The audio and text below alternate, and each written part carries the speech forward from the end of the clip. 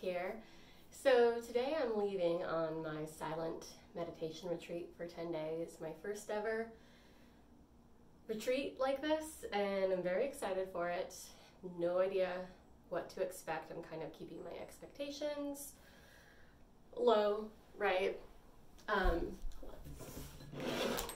need to grab the last chance to have coffee for 10 days. Anyway, I wanted to just shoot this little video as I'm packing and kind of show you what I'm bringing on the retreat as I go. So I have everything out here. I'm using my backpacking backpack to fit everything in there. So um, first I'm going to start with my clothes since those will be at the bottom. Um, figure the bedding stuff up at the top.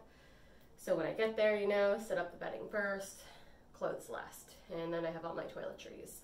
So to get started, um, the dress code there is basically loose, comfortable clothing. Nothing tight or revealing is allowed. If you do wear leggings, you have to have um, a dress or a really long t-shirt or something on on top of it. And it's just, you know, so there's as little distractions as possible. So this includes also no graphic tees, you know, nothing with words, nothing to distract people as they're meditating and going about their day. So, um, and this is for 10 days, and I can only hand wash in a sink, so I'm trying to. I spent some time to figure out what I'm going to bring that fits in the dress code and also things that I can wear over and over again and just having certain amounts of different layers available to me because I'm planning on not having to hand wash if possible. So with that, so first we have a sweater. Probably should roll this up better. Just long, comfortable sweater to put on top. The weather, who knows what it'll be. Um, it can be, we're still in that you know, the stage between winter and spring. So weather can be cold, the weather can be warm. And, you know, we start our days at 4.30 in the morning is when we do our first meditation. So we need to prepare, you know, to be nice and cozy in the morning. So I have another, switch how I'm sitting. Another comfy sweater here and everything's gonna be wrinkled, but you know, who cares? It's so, I'm really looking forward to leaving the mind behind. I know it'll be kind of hard in the beginning and the mind will go crazy. I've heard um, there's talking about the course a little bit and saying that the first four days can be the hardest. And then after the fourth day, it's easier to leave the mind and settle in to this experience. But you know, we're meditating for about 10 hours a day. So it's crazy. I'm really looking forward to it. I have no idea who I'll be at the end of this time. Um, just have a basic flannel, really comfy. I love to wear this thing. Got in a clothing swap. It's awesome.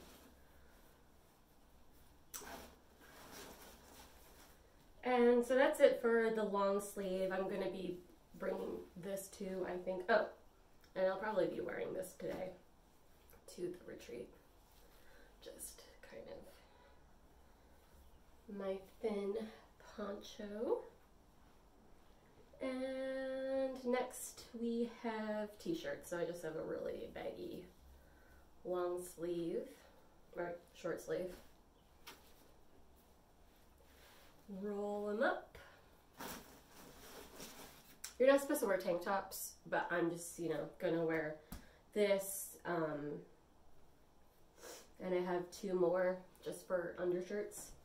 And I don't really have many short sleeve, loose t-shirts. Here's another one. And then I bought this really long tee. And then I cut off the neckline and basically all the hems to make it more relaxed. I'll be wearing that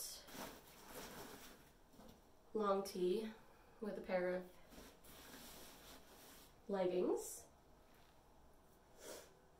And let's see here. So I have another pair of loose pants I'll be wearing. So I have three pants in total I'll be bringing to wear and I'm wearing the third pair that I recently got for this trip and I'm in love with them. I just want to wear them all the time.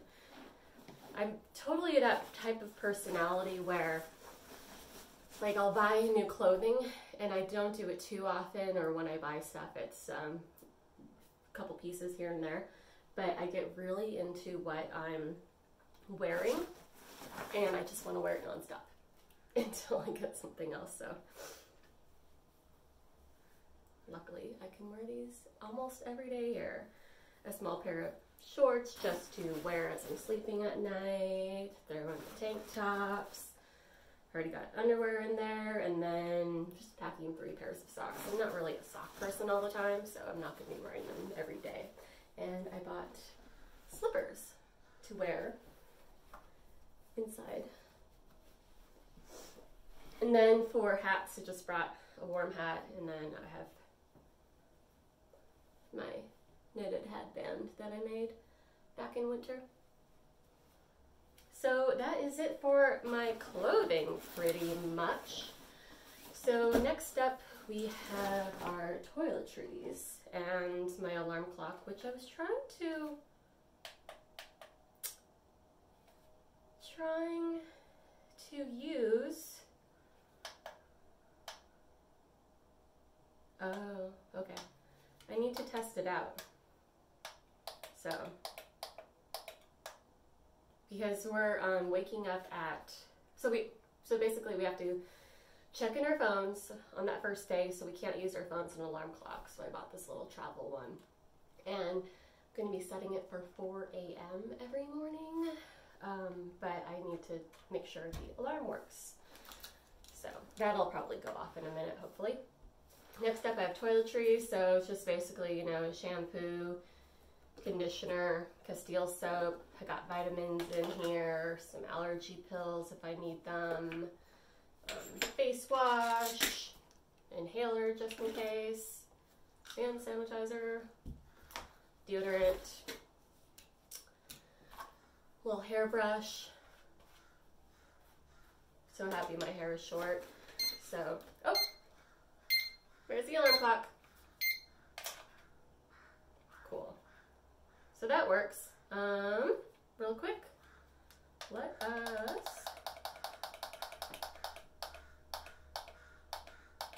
set it for 4 a.m.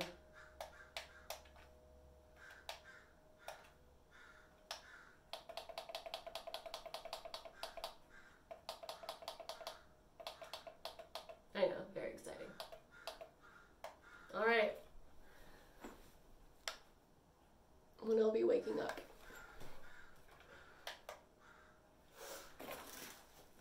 Throw that in there.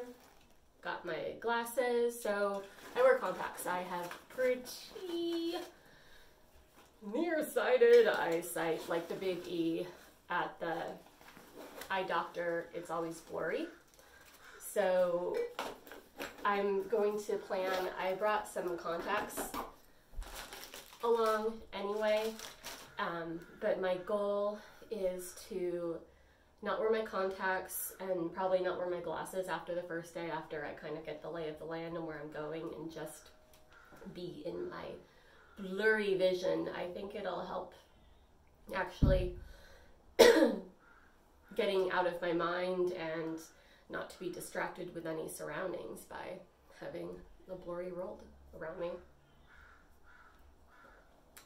So, and then I have some like face oil in here, some sunscreen, things like that.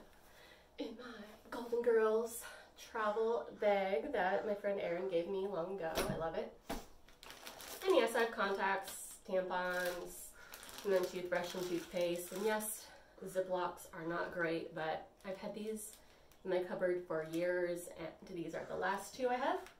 So I figure, you know, what's even more wasteful is to throw out the plastic before I ever use it. So I'll use these as long as possible. And then I'm going to be buying the um, like cloth Ziploc bags in the future. Um, so shove this stuff in there.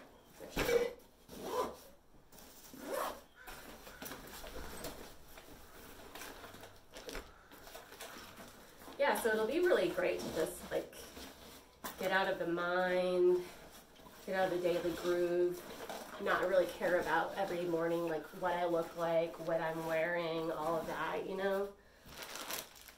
Just a vacation from the mind. Everyone needs it in this busy world, I feel. You might not need it for 10 days, that might be crazy for you. Um, but for me, I'm just looking forward to not having to talk at all because it can be hard my introverted self. Um, I have this shawl. I figure I could use it kind of as a meditation blanket at times. Everything's shoved in, so everything is not going to fit.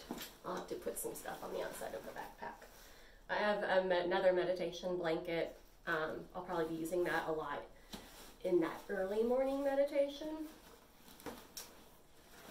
Had to bring pillowcase. This is a sheet. We only have king size sheets and I'm sleeping on a twin. So this is a lot of sheet. And then have my sleeping bag. Two washcloths right here. Hand towel. And then a regular size towel. And that is everything I'm taking with me. I'm going to be getting a, I think I'm going to buy an umbrella because it might rain and I hear we can walk around the grounds in between sessions during the day. So I figured, part of me was like, maybe I should just wear my raincoat, which I might still do. We'll see. Anyway, that is about it. Um, I'm going to finagle all this other stuff and strap it to the back of my pack off camera because it might take me a little while and lots of noise. Anyway, I hope you enjoyed this little get ready packing for a meditation retreat with me.